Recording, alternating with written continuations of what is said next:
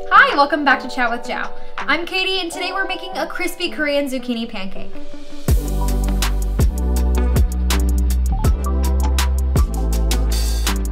Whenever I visit a Korean restaurant, I always get the zucchini pancake.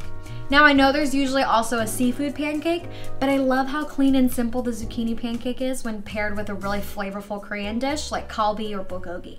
And I also love making this recipe at home because it's super easy to make and it's also really healthy.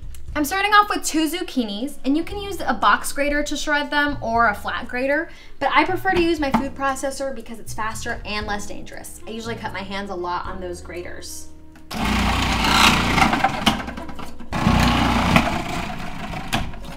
We'll put the shredded zucchini in a bowl with some salt. The salt draws out the moisture from the zucchini. The salt and the zucchini need to hang out for about five or 10 minutes. So while we're waiting on that, we can slice up some onion and some scallions. It's been about 10 minutes and you can see that the liquid of the zucchini has started to come out. I'm using a thin cotton fabric and I'm going to put all the zucchini inside of this fabric and then we're going to squeeze out all the liquid. Now what this does is it makes sure that our zucchini pancake is nice and crispy later on. You can toss this liquid or you can use it in like a stock or something. Now let's get ready to make our batter. So first we're starting off with some Korean pancake mix. So what it is, is it's basically a flour, but mixed with some seasonings and a little bit of cornstarch for texture. And you can find it at any Asian grocery store. We're also adding in an egg and a little bit of water. The batter should be like a runny pancake batter consistency. Now we'll add in our shredded zucchini, onions, and our scallions. Now depending on your other ingredients, you might need to add a little bit more flour or a little more water to get that perfect consistency. This looks good.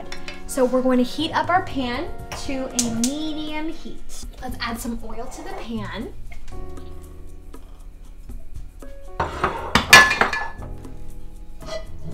Now carefully pour about half of our batter into the pan. And we're going to try to spread it as thinly as possible to make sure we can get a really thin and crispy pancake.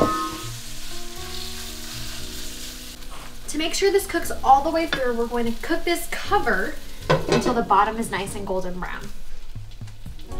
All right, now this flipping part can be a little tricky. So a tip I learned is to slide it out onto a plate. And then we'll take that whole plate and then just flip it over. Let's see how I do. One, two, three. Nice. Now we'll cook this other side until this side's golden brown as well.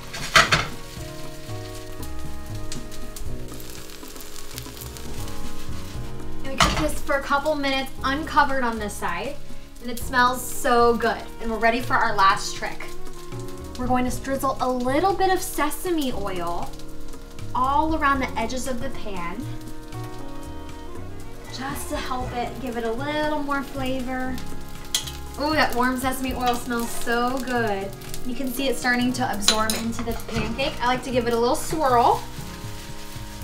Ooh, sounds so crispy. And we're ready to plate it.